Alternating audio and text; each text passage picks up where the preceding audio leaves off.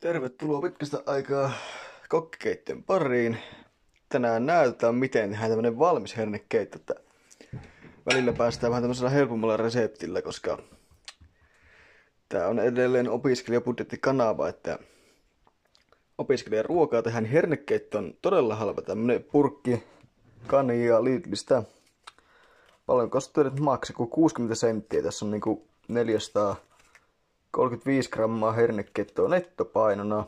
Että tää on aika, aika hyvä diili, kun ajatellaan, että keräät kolme pulloa, niin se herneketto purkin, niin se on ihan loistava valinta, mutta katsotaan miten se tehdään. Ja ensiksi me tarvitaan kattila, ja sitten me tarvitaan liesi, mikä laitetaan päälle. Eli meillä on kattila ja liesi, mutta ennen kuin laitan tää lieli, tänne mitään kuuma liesi, koska äsken tuossa kokka oli vähän mun aikaista. Eli tää sen näe.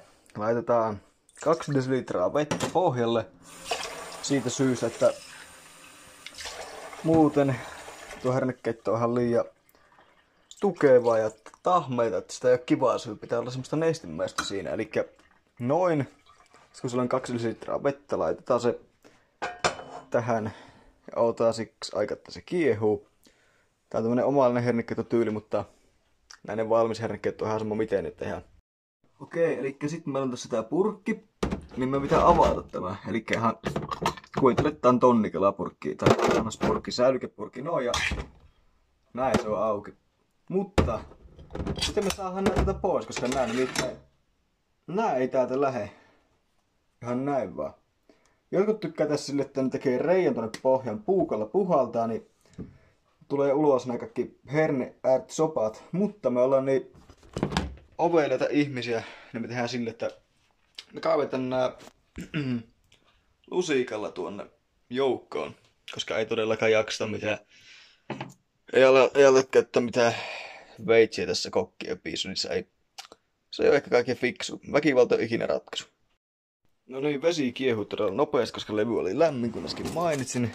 Otamme täältä lusikan ja kaaviloidaan nää tuonne kattilaan. Okei, nyt meillä on hernekeitto kattilassa.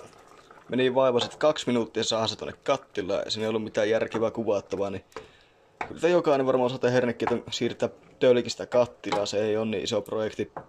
Mutta sen voi antaa vinkistä, älkää ikinä lisätkö valmis hernekeittoihin suolaa, koska näissä nimittäin on hemmetisti suolaa valmiina, että eikö se ole 100 grammaa kohdalla joku 1,2 grammaa suoletta.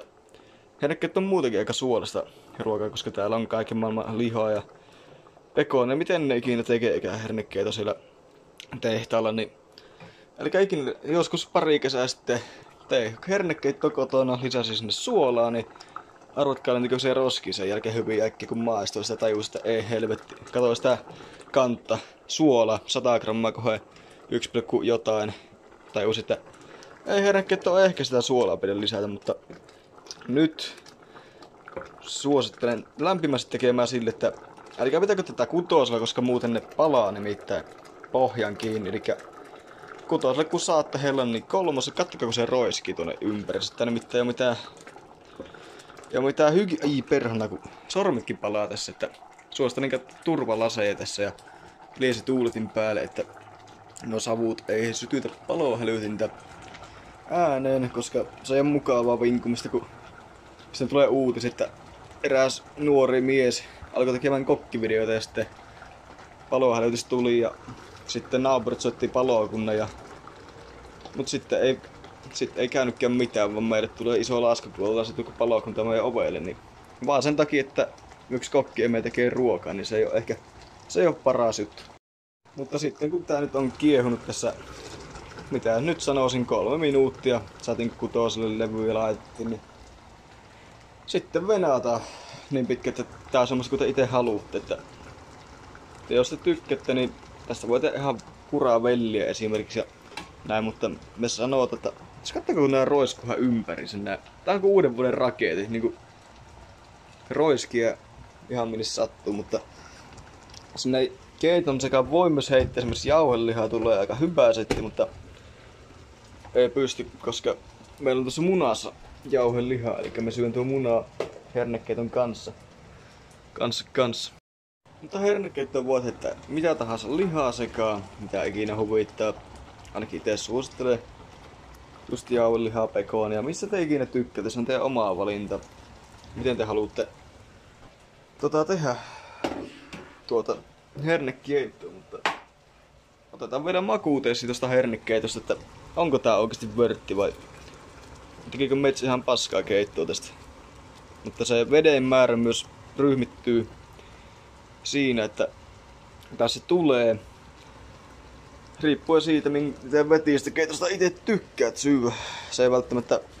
Jotkut tykkää semmoista ei lisää yhtä vettä, mutta itse tykkää lisätä tuonne paremmin vettä, niin... On lisätä vettä, niin se menee paremmin alas. Alkaa mennä sanat jo sekaisin, koska tänään on vasta maanantai. Mutta pitemmittä puheita. Levy nollalle. Otetaan keittolautanen. Älkääkä kysykö, jos meillä on tuommoinen, tämähän paistilasta, niin miten me saa se keitto siirretty tähän lautaselle, niin se on erittäin hyvä kysymys. Koska, kattokaa. Ei. Meidän pitää ottaa oikeasti kauha. Keit, älkää ikinä sitten keitto, niin älkää kattoko paistilastaa siinä niinku ite eteen. Se ei nimittäin toimi sille, eli tuosta reilusti otetaan. Ja tämän kautta olla varovan, se roisku ympäri ämpäri, eli mahdollisimman lähelle tätä lautasta heitettiin tämän, tämän, tämän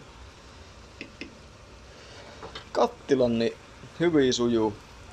Tälle laitan keittoon annos, mitä halutaan maistaa. Tää on nimenomaan testiannos, koska jos tää hyvää, niin lisätään sinne vähän taika-aineita. Ja jos jotkut kysyy, minkä takia me tehdään just tänään hernekeitto, niin tänään lähti armeijaan ensimmäinen erä tältä vuodelta, niin totta kai me tehdään hernekeittoa sen kunniksi. Nyt ollaan totuuden hetkellä. Katsotaan, miten tää niin sanotusti ärtsoppa maistuu, että onko tää hyvää vai karseta kuraa. Mm. Joo. Maistuu ihan valmis hernekeitolta. Ja sitten vähän vadelmamehua päälle. On tää hyvä. Su- on tää hintansa arvoinen. 60 senttiä ja maistuu tältä, niin syö tästä opiskelija pari kertaa. Mutta kiitos kattomista, kun jaksot tänne asti kattoja. Näkyy tulevaisuuden videossa. Tykkää videosta, jos oli hyvä.